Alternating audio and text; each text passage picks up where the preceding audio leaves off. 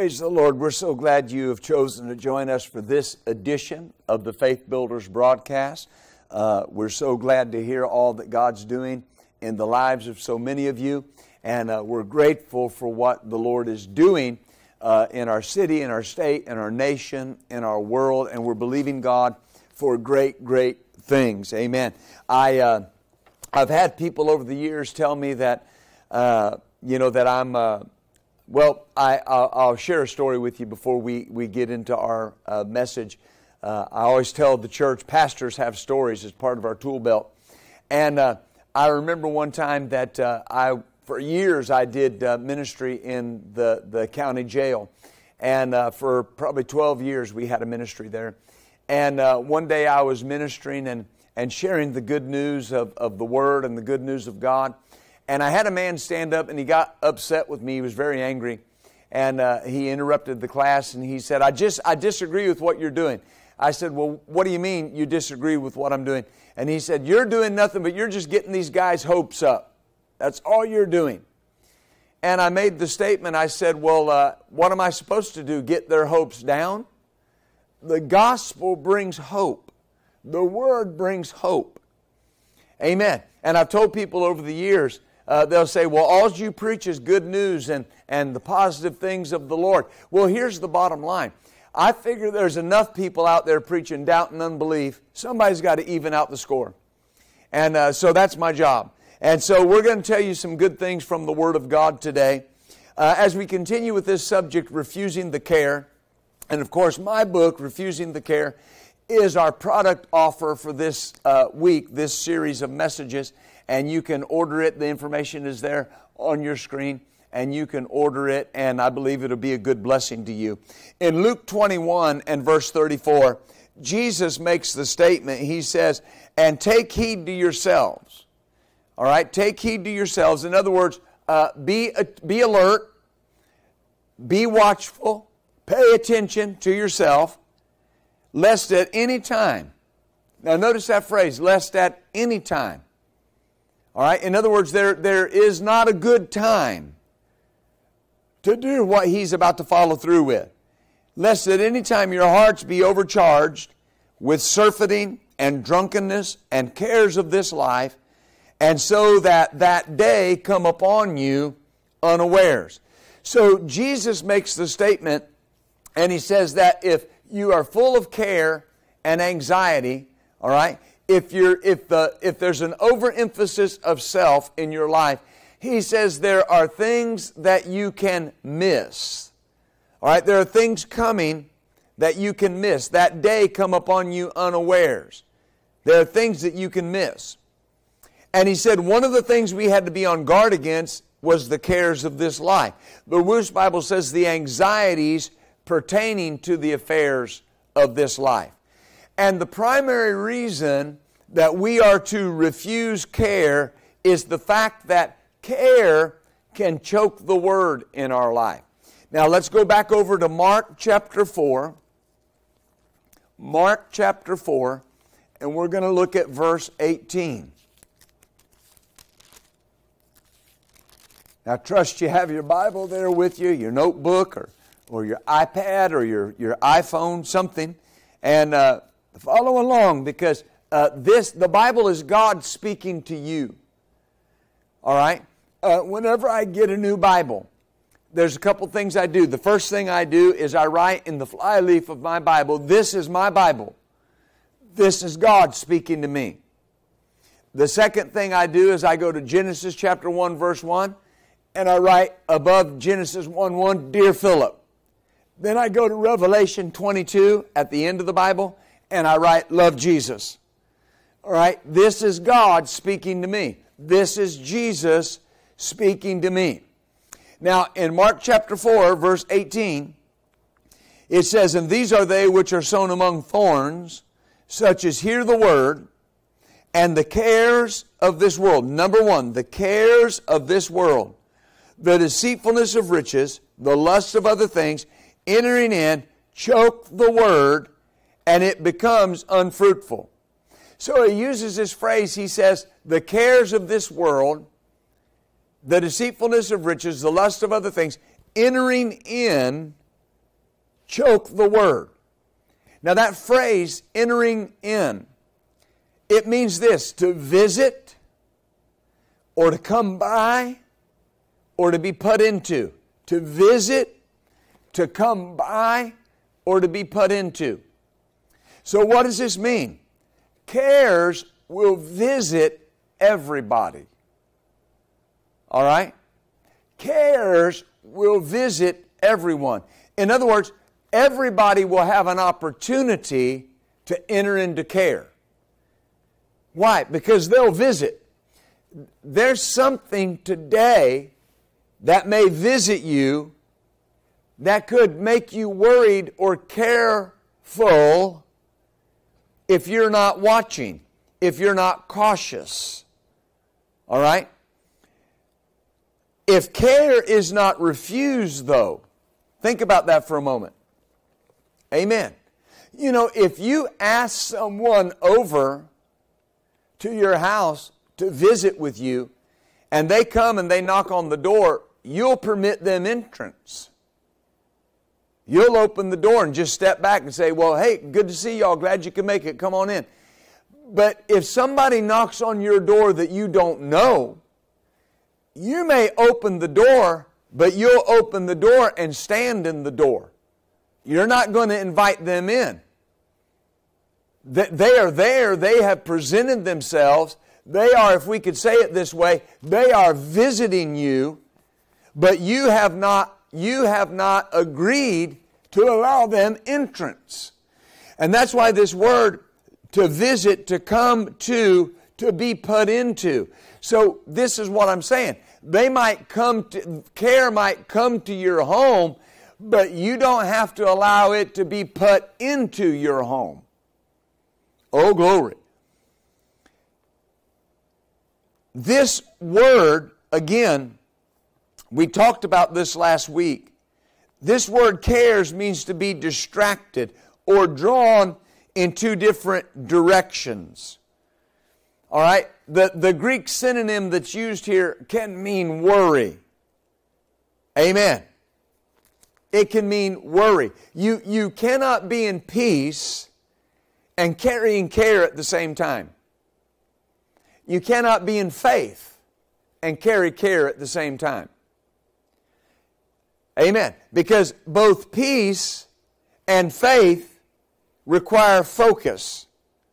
It, it doesn't mean that I can't be in a pressure situation and not be in faith, or in a pressure situation and not have peace.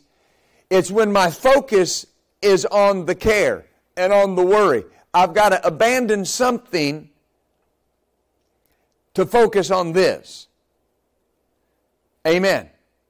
You, you never want to focus on the circumstance at the expense of your faith and at the expense of your peace.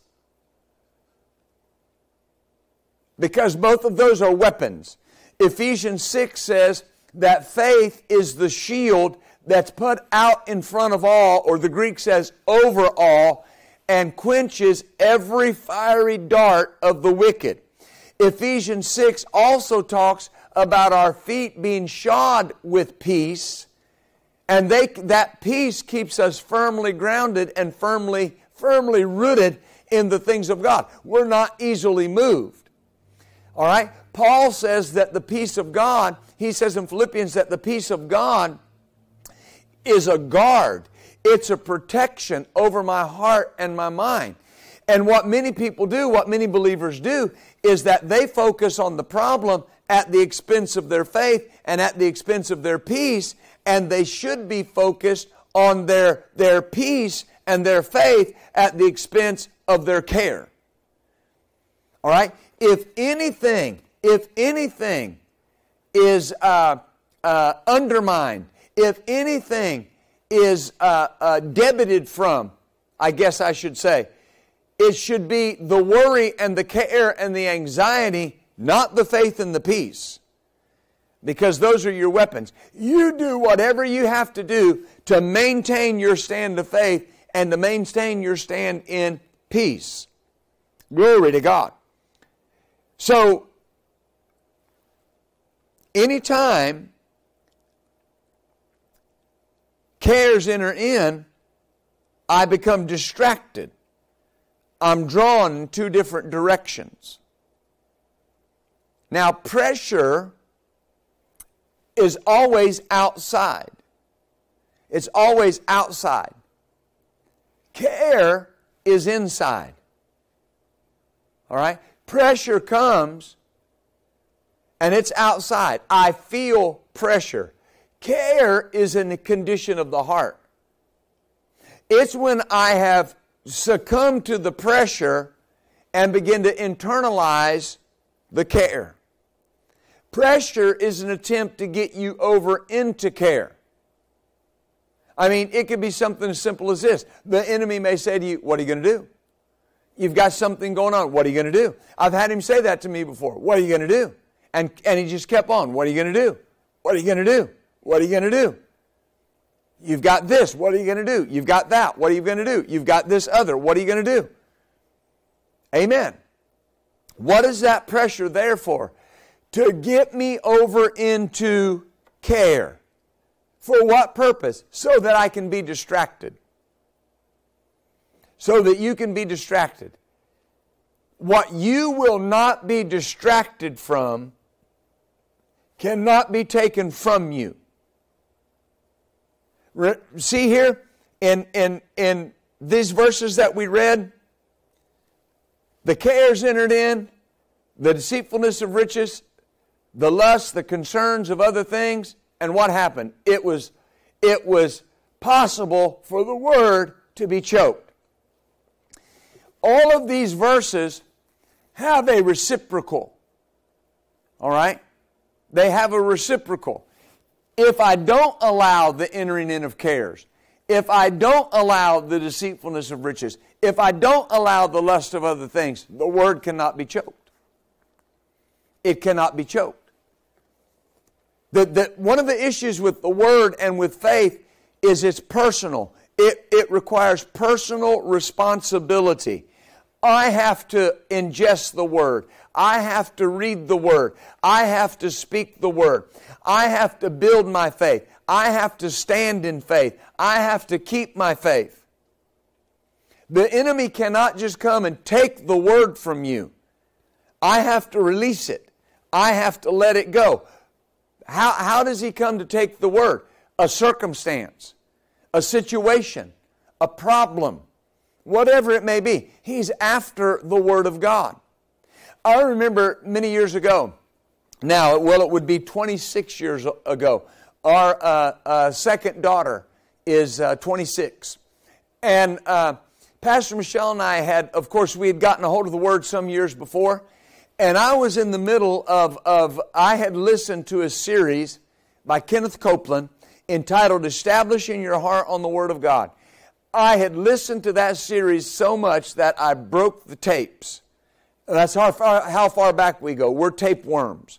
All right? We go back to tapes. And in any event, we had listened to that and listened to that and listened to that about Psalm 112. The righteous man's heart is fixed, trusting in the Lord. Amen. Well, she had a, my wife had a perfect pregnancy. We went to the, the, the, the hospital uh, the day uh, that she went into labor, and we were there, and we were there for a number of hours. And uh, eventually, she gave birth to a beautiful baby girl, and uh, uh, all seemed to be well. And I was actually holding my daughter. They asked me if I would like to hold her. And they, they, they asked me if I'd like to feed her for the first time. They were, they were working on Pastor Michelle, and I said, Yes, I, I would love to. And, and so I was there and, and uh, holding the baby and uh, she kept turning this light shade of blue. And they noticed it, and they took her out and put her in the, the incubator. And, uh, well, the pink came back, and so they gave her back to me, and she turned a light shade of blue again. Well, then I could see the concern on their faces. And so they took her and put her in the incubator, but then they took her out of the room. They took her out of the room. And they were gone for quite a while.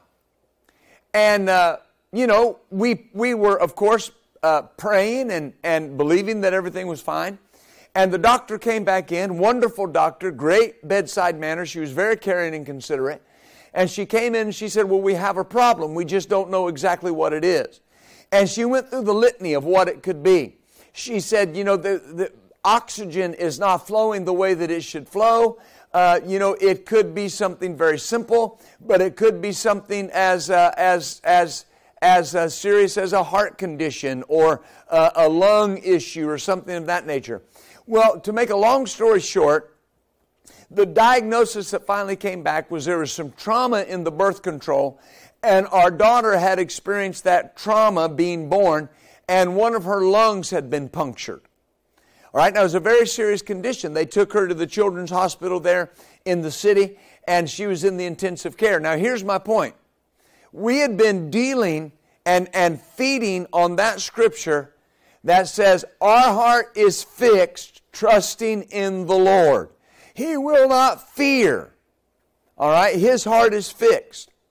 I remember this as plain as if it happened five minutes ago. We were there, my wife was in the bed, and we took hands. And the moment I took her hand, my wife looked at me and she said, Philip, I will not fear. My heart is fixed. And I said, Yes, my heart is fixed. Now, people will say, What was that? That was the enemy trying to take the word. Amen.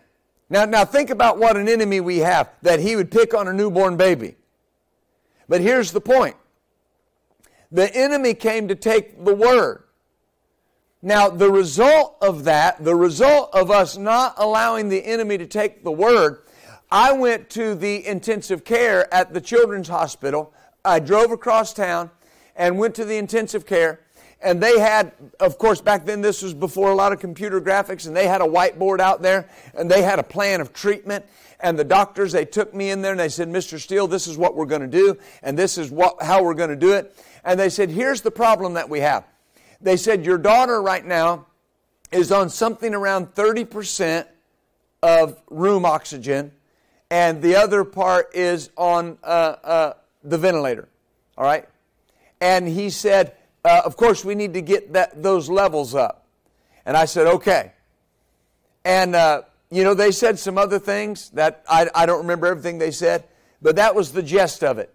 And they said they were looking at three weeks, at least three weeks, before everything leveled out. Well, I remember going over, they had my daughter under these lights over there, and, and she was laying there just born. And, uh, you know, I, I, I couldn't touch her, but I put my hands as close to her as I could. And I said these words My heart is fixed, trusting in God. My heart is fixed, trusting in God. And I spoke the healing power of God over her. I worked in corporate America at the time, and I worked just down the hill across the road from this uh, uh, children's hospital. So every day on my lunch hour, I would come up and spend an hour with my daughter. And every day that I would come up, they would say, Good news, the oxygen levels are up. And I remember the day it went to 50 50. And then uh, I remember the day it went to 60 40.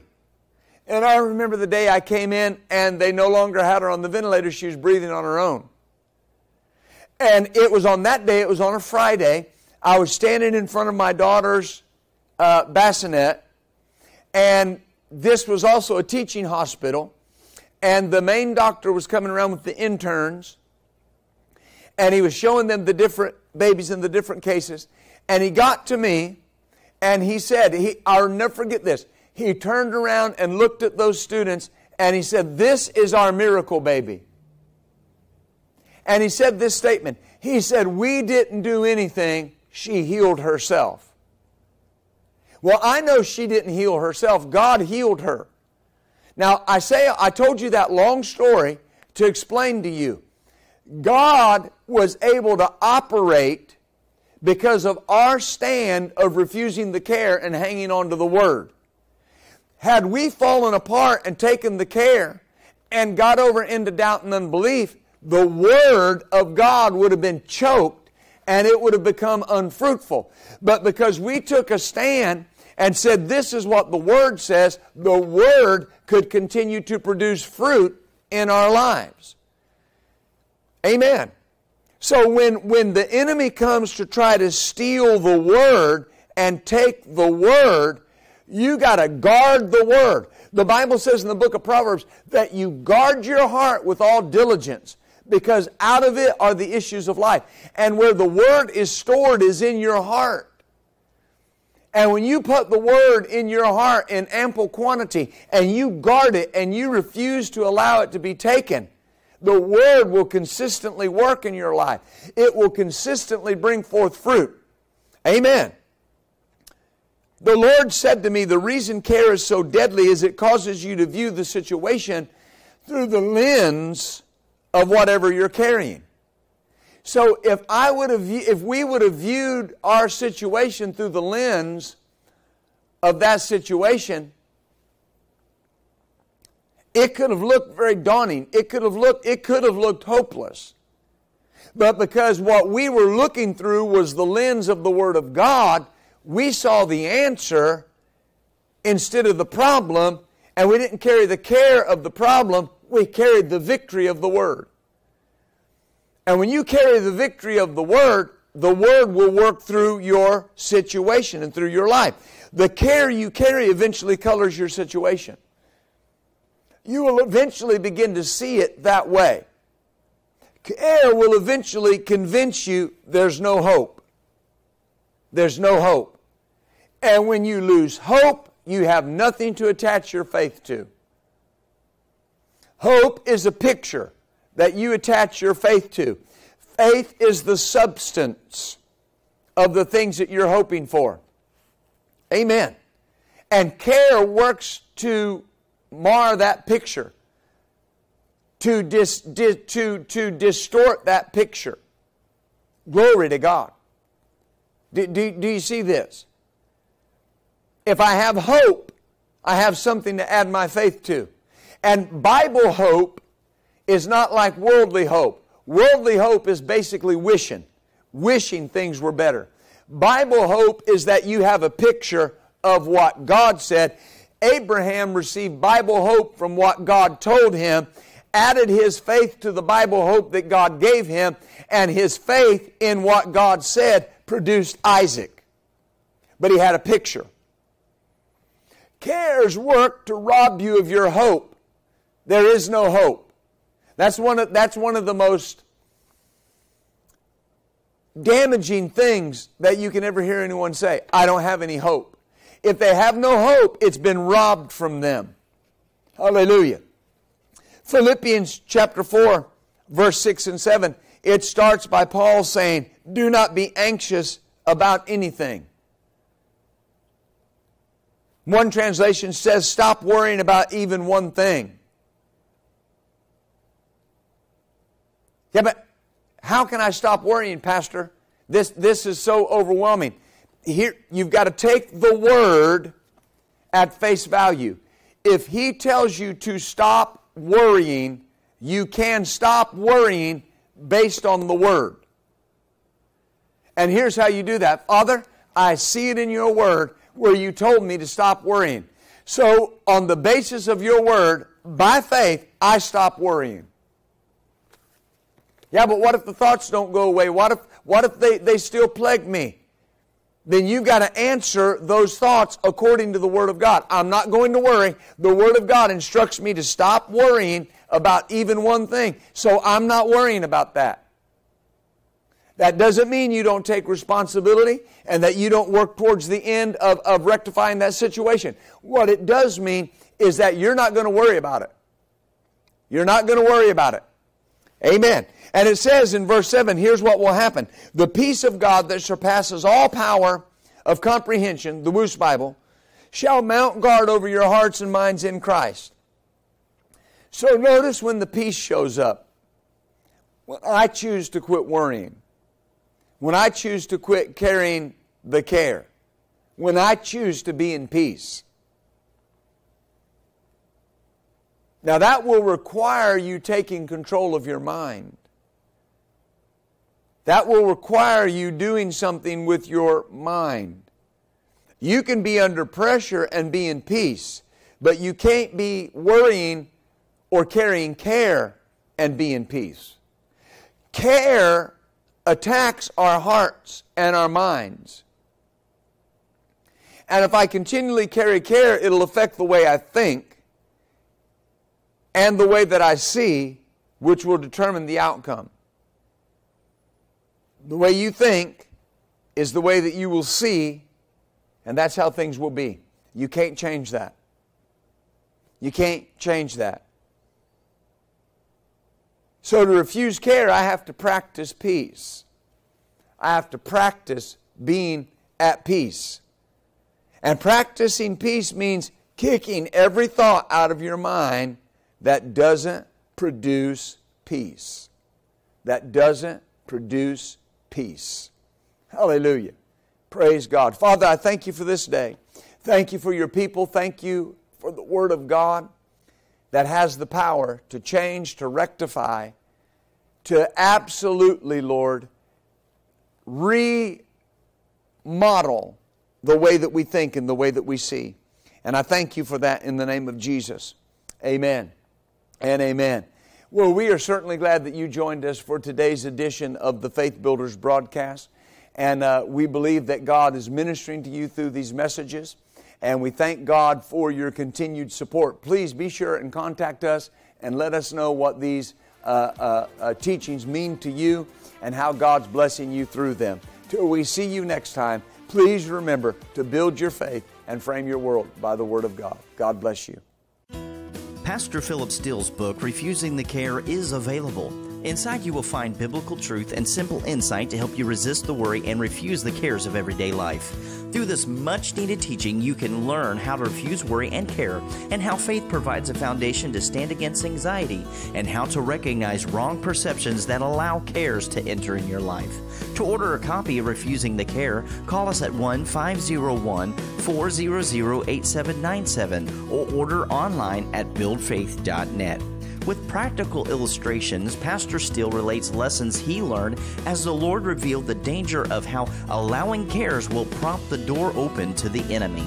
You will be encouraged by this book as you learn how to refuse the care. To order your copy Refusing the Care, call 1 501 400 8797 today. We invite you to subscribe to our YouTube channel where you can watch live streams or watch messages again to build your faith anytime you desire with trusted teaching from pastors Philip and Michelle Steele, as well as guest ministers and special events on our YouTube channel. Subscribe today and be ready to hear what God has for you. Thank you for your partnership. We have many ways that you can connect with us through your generous giving or prayers. Not only will your seed into this ministry help spread the gospel, it will produce a harvest in your own life.